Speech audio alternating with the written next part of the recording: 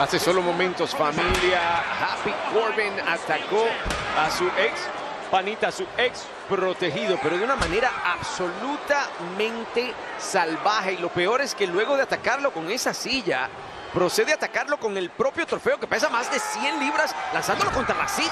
Eh, yo, yo no puedo ni ver esto otra vez, ni no lo puedo creer. Es tan horrible como inexplicable.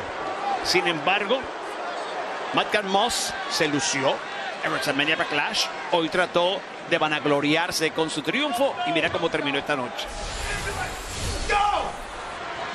Familia, estamos aquí en vivo. eh, están llevándose. el- no, Oye. no, no, no, no, no.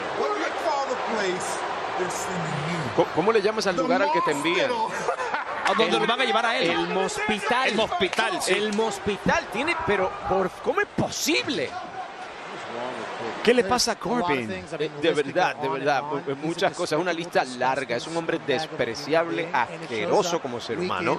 Y esto se demuestra semana tras semana. Se ve y está bien porque tiene mucho dinero, pero es un tipo sin morales. No tiene, está en bancarrota en lo que se trata a la moralidad. Y por eso es una porquería.